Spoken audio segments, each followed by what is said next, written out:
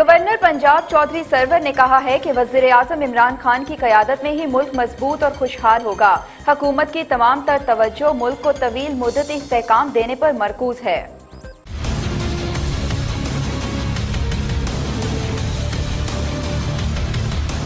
Governor Punjab से तहरीक इंसाफ के रहनुमा शबीर सयाल और दीगर ने मुलाकात की, जिसमें मुल्क की सूरत हाल पर बातचीत की गई।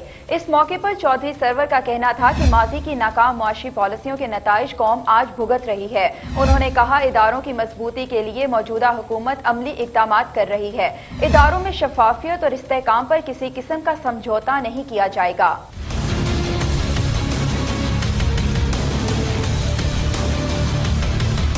चौधरी सरवर ने कहा, हुकूमती पॉलिसियों का महवार गरीब तबके की फलाह बहबूद है। तमीरत के शोबे में हुकूमत ने मुल्क की तारीख का बेहतरीन पैकेज दिया है।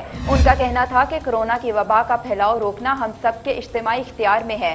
कोरोना को बेकाबू होने से बचाने के लिए एस ओ पीज पर अमल ज़रूरी है।